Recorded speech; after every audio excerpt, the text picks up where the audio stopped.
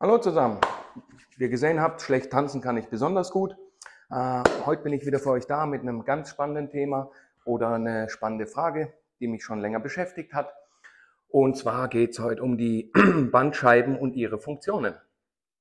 Ähm, bisher ist mir immer davon ausgegangen, dass Bandscheiben als Stoßdämpfer fungieren ja? und unser Gewicht verteilt tragen.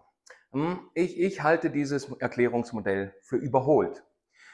Ähm, der Begriff Wirbelsäule, ja, wenn man den mal auseinanderklamüstert für sich, ähm, beinhaltet ja schon das Wort Säule. Und dies kommt eigentlich noch aus der Zeit, ähm, als wir Erklärungsmodelle von Bauten auf die Biologie übertragen haben. Ähm, die Wirbelsäule besteht aber eigentlich aus einzelnen Gliedern, ja, weshalb wir sie eigentlich eher als Gliederkette bezeichnen sollten, als als Säule. Genau. Ähm, die hauptsächliche Aufgabe der Bandscheiben ja, besteht für mich, also meiner Meinung nach, in der Bewegungsfunktion. Ja, und eher als Notfallstoßdämpfung. Ja, weil äh, wenn es dann wirklich mal zu einer harten Kompression kommt und die anderen Strukturen versagen, ja, dann müssen die schon ein bisschen Druck übernehmen. So, und im Klartext ermöglichen uns eigentlich Bandscheiben Bewegungsfunktion, ja, und zwar Beweglichkeit in alle Achsen. Und nur als Beispiel ist ja ganz logisch, das erklärt ja auch, warum Fische ebenfalls Bandscheiben besitzen, ja, obwohl sie offensichtlich ja keinen Stößen ausgesetzt sind. Also ich wüsste jetzt nicht, dass ein Fisch die ganze Zeit irgendwo gegen eine Mauer schwimmt oder gegen einen Stein. Ähm, so, jetzt ist aber die Frage, wenn die Bandscheiben hier ja, keine äh, Dämpfungs- oder Stoßdämpffunktion besitzen, äh, wer macht das dann eigentlich? Genau. Und hier kommt jetzt eben die Form der Wirbelsäule, also die S-Form, wie, wie eine Feder, so rum, so ist richtig, quasi geformt ist. Ähm, die Muskulatur, die Faszien und vor allem auch die komplexe Verspannung der Bänder ins Spiel. Und diese fungieren in ihrer Gesamtheit als Stoßdämpfer.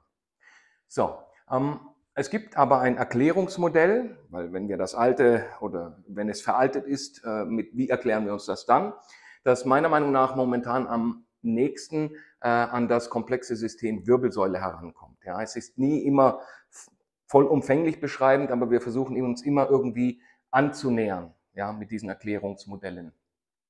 Und äh, dieses besagte Modell nennt sich Tensegrity-Modell. Ähm, woher kommt dieser Begriff oder wie setzt er sich zusammen? Ähm, das Wort Tensegrity ähm, setzt sich aus dem Wort Tension, übersetzt für Spannung, und Integrity äh, für Ganzheit ähm, zusammen. Genau. Und im Prinzip müssen wir uns also die, unsere Wirbelsäule, wie gesagt, vorstellen wie eine Gliederkette, die durch elastische Ligamente, also Bänder, äh, verbunden ist, die verhindern, dass Druckelemente, in diesem Fall die Wirbelknochen, das sind Druckelemente, ja, so wie äh, Granitsteine in einem Gebäude eben. Deswegen ist man oft davon ausgegangen, dass der unterste die meiste Last trägt und so weiter und so fort und nach oben immer weniger. Genau. Äh, und diese Druckelemente oder die Bänder verhindern, dass diese sich berühren. Das würde auch erklären, warum es zum Beispiel Patienten gibt, die mehrfache Bandscheibenvorfälle haben und eigentlich äh, wenig bis keine Beschwerden aufweisen. Ja, also von denen die Röntgenbilder, CTs oder MRTs, die sehen wüst aus, also richtig schlimm, ne? aber die haben eigentlich wenig bis keine Beschwerden. Und dann gibt es Leute, die haben äh, nichts, was man knöchern feststellen könnte und die haben massive Beschwerden. So, und jetzt könnte man sich aber auch fragen, wenn wir sagen, ähm, warum haben dann eigentlich die meisten Menschen, ja, wenn jetzt der unterste doch nicht den ganzen Druck alleine trägt, äh, trotzdem im Bereich äh, L4, L5 oder L5S1 ihren Bandscheibenvorfall? Hm, das ist meiner Meinung nach äh, Haltungsschäden geschuldet. Und zwar äh, durch das viele Sitzen. Ja, war ja irgendwann mal das Unwort des Jahres, toxisches Sitzen. Ja. Und wenn diese Bandstrukturen durch diese permanente Nichtbelastung oder Fehlbelastung natürlich locker wird, ja, dann ist sie auch nicht mehr in der Lage, ähm, sage ich mal, den Stoß zu dämpfen. Und dann überträgt sich das Gewicht auf die Bandscheibe und langfristig ist sie nicht für diesen Druck ausgelegt und dann geht sie kaputt. Natürlich gibt es auch Fälle, äh, wo durch auf dem Bau und Überbelastung und zu viel Gewicht tragen und so weiter und so fort auch dazu führen können. Das wäre dann einfach eine Überlastung der ligamentären, muskulären oder faszialen Strukturen. Genau. Ähm, um das mal schnell aufzuzeigen, habe ich hier so ein kleines Modell.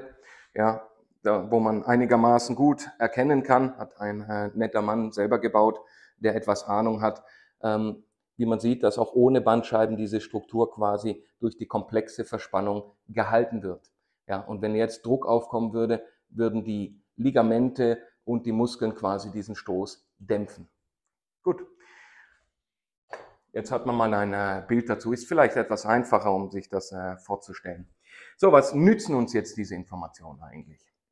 Ähm, ziemlich viel würde ich sagen, weil normalerweise denken die Menschen, ähm, wenn sie einen Bandscheibenvorfall hatten, dann ist das Leben vorbei. Ja, dann kann man keinen Sport mehr machen oder kann man gar nichts und dann ist einfach fertig. Ja, oh, oh, hoffentlich ist nicht die Bandscheibe, nicht die Bandscheibe, sonst äh, habe ich verloren im Leben. Ja, und das stimmt einfach nicht. Ja, betrachten wir den Zustand eben aus der Warte des Tensegrity-Modells, oder? Ähm, dann versteht man auch, wieso es Sinn macht oder warum man solche Problematiken natürlich konservativ sehr gut behandeln kann. Ja, also wenn ich die strukturelle Integrität oder beziehungsweise der, der Ligamente, der Faszien, der Muskeln wieder verbessere, ja, äh, dann nehme ich natürlich auch den Druck von der Bandscheibe runter, die ja nicht so wirklich dafür ausgelegt ist und kann eine Schmerzfreiheit erreichen. Ja? Ähm, man sagt ja nicht umsonst, Form folgt Funktion oder auch use it or lose it. Wenn wir es also schaffen, die Funktion dieser ligamentären Verspannungen, Muskeln, Faszien, wie schon besprochen, zu verbessern, sind wir eben in der Lage, etwaige Symptome und Stabilitätseinbußen ja, zu kompensieren oder oft sogar zu revidieren. Genau.